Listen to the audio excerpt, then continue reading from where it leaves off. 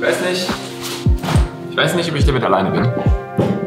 Aber ich habe das Gefühl, dass Reviews, dass Reviews einfach vollkommen irrelevant geworden sind.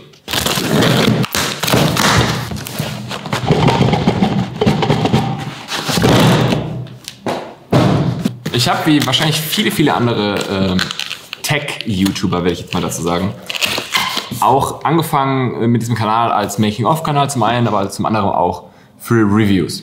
Re Reviews. Für Reviews. Und ich war total angetan von Philipp Blum und äh, seinen riesigen Reviews zu Kameras wie der FS7. Das war damals für mich die Mutter aller, aller Reviews. Aber die Zeiten, die Zeiten sind vorbei. Wir sind hier in der komfortablen Situation, dass wir auch einiges an Zeug äh, geschickt bekommen, zumindest immer mal wieder.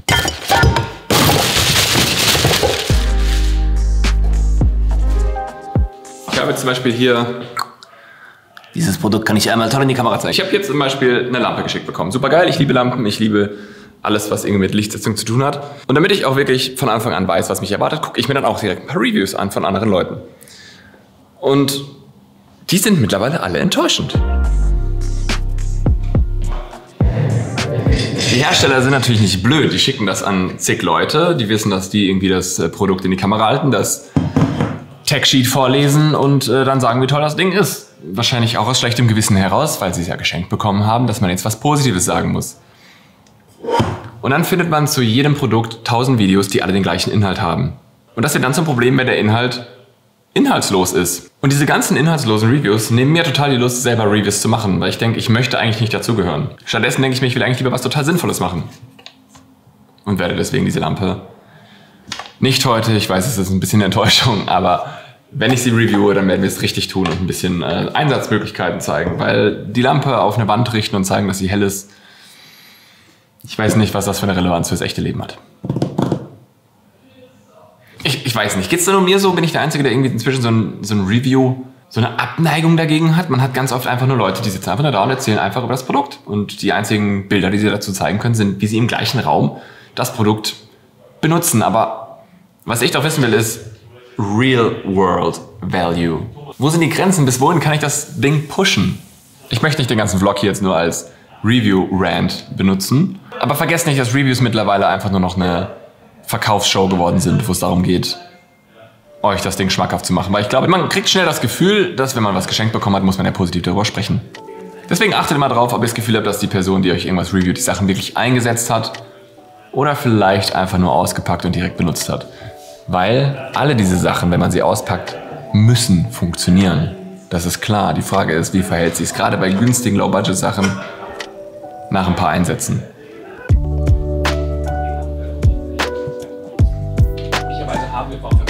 Boah, der Joscha schneidet gerade das schlimmste Projekt der Welt. Die Location extrem groß und verwinkelt. Ah, was schneidest du da, Joscha? Das ist ja klingt scheiße. Ich schneide dein Geblubber für das ähm, Making-of vom aktuellen Venues Performance Video.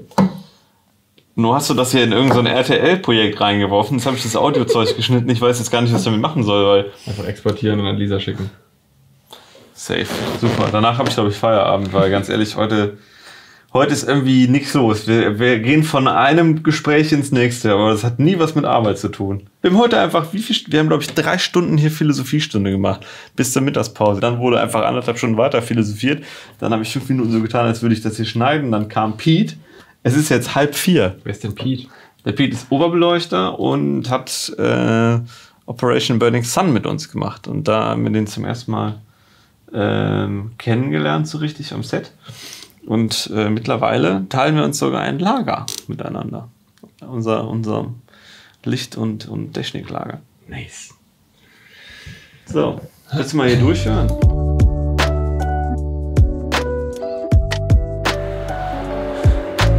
Was ein Vorhaben, ey. Das war jetzt irgendwie der dritte Versuch, diese scheiß Offsprechertexte zu machen. Ich bin wirklich sehr schlecht darin. Was machst du gerade? Äh, ich kümmere mich gerade um die Audioaufnahmen von Marius und versuche die in das jetzige Projekt so einzupflegen. Das Traurige ist, Lisa ist ab morgen mal wieder in der Schule. Ihr kennt's nicht. Okay, abseits davon, es war ja relativ ruhig hier in letzter Zeit. Ne? Wir haben irgendwie nicht viel gedreht, es war ein bisschen Sommerpause im TV-Bereich.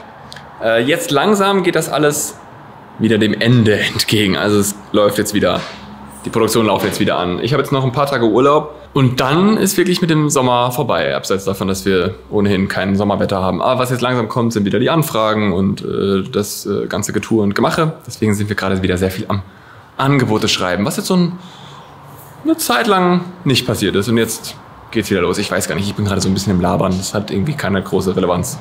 Ich wollte nur sagen, wir schreiben jetzt Angebot hier gerade.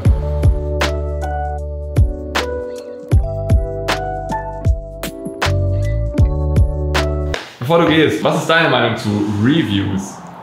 2014 oder sowas ging das für mich so los, als ich das geguckt habe. Und da ist, glaube ich, der Markt noch nicht so auf die Schliche gekommen, dass man die Leute ja einfach so ein bisschen schmieren kann mit Produkten und so. Und damals kam mir das noch ein bisschen realer vor. Und mittlerweile bin ich mir einfach nicht mehr so sicher, wie sehr man den Aussagen da vertrauen kann. Erstens habe ich oft das Gefühl, dass die Leute das Material gar nicht richtig testen, sondern für zwei Tage in der Hand halten. Dann kommen so Aussagen wie, ja, ist echt eine stylische Kamera oder sowas. Gerade bei den Leuten, die dann, dann so ein bisschen davon leben, äh, muss man sich halt auch fragen, äh, können die noch eine wirklich authentische Meinung wiedergeben, weil die wollen auf gar keinen Fall ihre Sponsoren verlieren. Und man muss auch sagen, ich bin auch häufiger auf so einen Scheiß reingefallen. Also wenn ich mich hier so umschaue in diesem Schrotthaufen, sind durchaus Sachen, wo ich im Nachhinein sagen muss, das war einfach Kacke. Und da habe ich mich auch von irgendwelchen Reviews belabern lassen. Äh, wir haben tatsächlich vorhin darüber gesprochen, ob wir unseren äh, Lagerbestand, unter anderem der, der hier ist, als auch der Stuff, der noch drüben ist, den wir loswerden wollen, in so einer Live-Show loswerden wollen. Verschenken. Ja, das wäre wirklich so eine Art, äh, wir gehen einfach mal alles durch und man kann das live dann Genau. für Versandkosten übernehmen. Das wäre eigentlich das Coolste. Ne? Bock hätten wir da drauf, weil das sind halt Sachen, mit denen wir nichts mehr anfangen können. Die wären aber viel zu schade, um sie wegzuwerfen, haben nicht mehr genug Wert, als dass wir da bei eBay jetzt reich mit werden. Aber die können vielleicht noch irgendwo anders ein schönes äh, Lebensende genießen. Lebensabend. Lebensabend. Das Ganze wird wahrscheinlich irgendwie im September stattfinden, weil ich bin jetzt erstmal noch ein paar Tage im Urlaub, dann haben wir ein paar Dreharbeiten und dann haben wir hoffentlich Zeit dafür. So keep on the watch. So sagt man das. Joscha, du bist raus? Ich bin raus. Geht zur Bandprobe.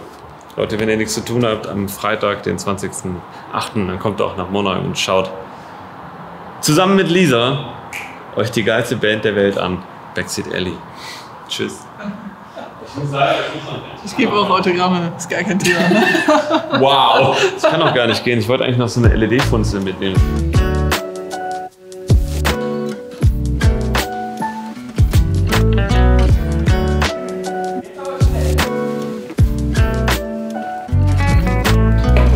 Ein sehr laberlos, laberlustig, ein sehr laberlastiger äh, Vlog, aber es war auch ein sehr laberlastiger Tag. Aber hat sich gelohnt, würde ich sagen. Für dich schon. In allerlei Hinsicht. Auch für dich nicht? Okay. Ja, klar, Alter. Mir tut das immer gut, wenn ich meine eigene Stimme höre. Habt ihr schon einen Hashtag? Hashtag entsprechend definitiv laberlastig. Hashtag laberlastig.